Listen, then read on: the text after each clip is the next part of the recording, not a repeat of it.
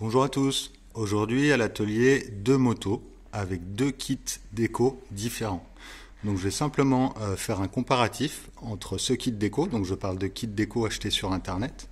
Celui-ci est de marque Cutvec. Alors c'est pas une prestation que je fais couramment à l'atelier, mais là c'est pour la famille. Donc, euh.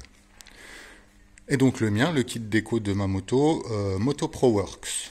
Donc je vais vous montrer les packaging. Donc Cutvec, c'est le kit de la 790 que je viens de terminer de poser. Et Moto Pro ça c'était le kit que j'avais posé l'année dernière sur ma moto. En termes de tarifs, euh, Moto Pro Work 179 euros, euh, Cutvec 205 euros. Alors Moto Pro euh, ça traverse la mer en bateau, euh, limite à voile, ça met une vie à arriver.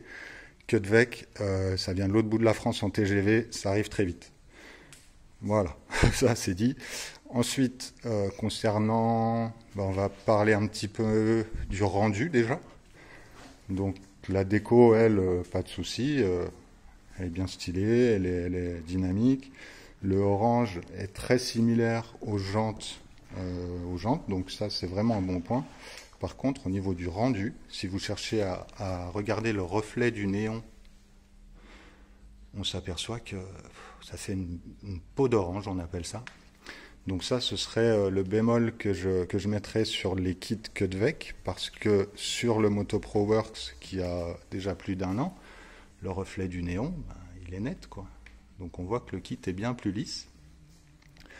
Euh, ensuite, en termes de comparaison, euh, au niveau des éléments, il y a beaucoup plus d'éléments sur le kit déco Cutvec pour un prix légèrement supérieur, mais quand même, il y a vraiment voilà, une, flopée d'éléments pour recouvrir euh, quasiment tous les carénages.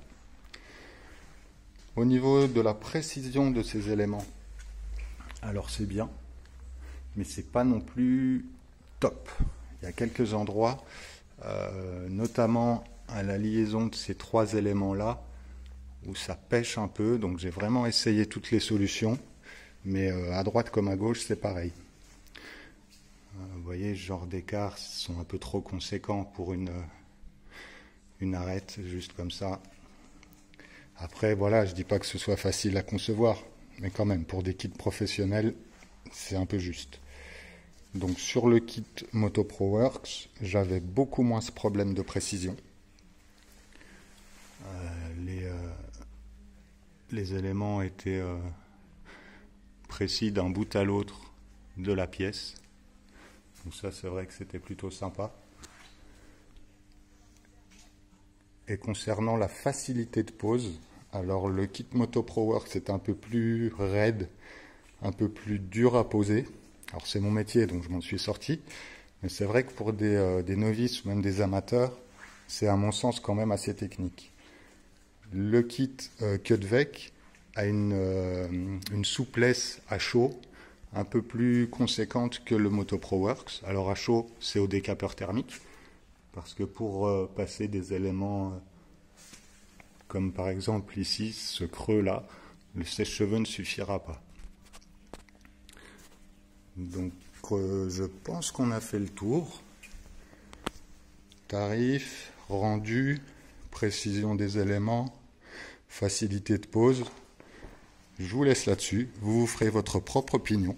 À bientôt pour de nouvelles vidéos. N'oubliez pas de vous abonner. Ciao